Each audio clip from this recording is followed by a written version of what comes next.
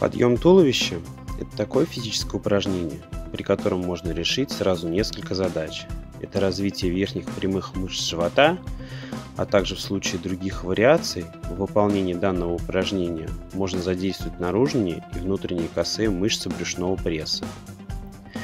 Упражнение можно выполнять с разной амплитудой и с разным количеством повторений, которое должно рассматриваться с точки зрения физической подготовленности занимающегося.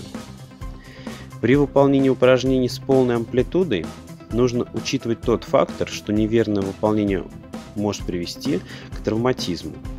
При неправильном выполнении этого упражнения могут возникнуть боли в поясничном отделе спины. В связи с этим, для тех занимающихся, чей уровень находится на начальной стадии, предлагается выполнить подъем туловища с ногами на скамье или диване. При выполнении данного упражнения поясничный отдел находится на полу, Ноги образуют угол в 90 градусов по отношению к телу. Руки находятся за головой. Упражнение выполняется с небольшой задержкой во время скручивания тела. Во время подъема локти сводятся, во время опускания разводится. Выдох выполняется при подъеме туловища, вдох при его опускании на пол. Другой вариант, который будет рассмотрен – это выполнение подъема туловища, лежа на спине, согнув ноги.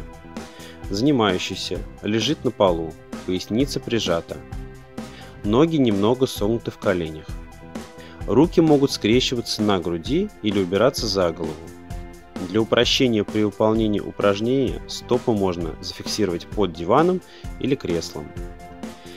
При поднимании верхней части тела выполняется выдох, при его опускании – вдох – во время этого упражнения для его эффективности не обязательно опускать тело до конца и выполнять его с максимальной амплитудой.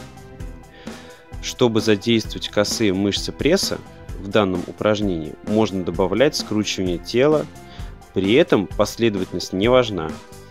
Можно выполнять упражнение как попеременно, так и по отдельности, прокачивая одну сторону, потом другую. При выполнении подъема туловища следует помнить, что положение рук влияет на степень нагрузки. 3-4 подхода в данном упражнении будет достаточным для поддержания себя в физической форме. Не нужно выполнять упражнение с прямым положением тела, чтобы уменьшить нагрузку на поясничный отдел.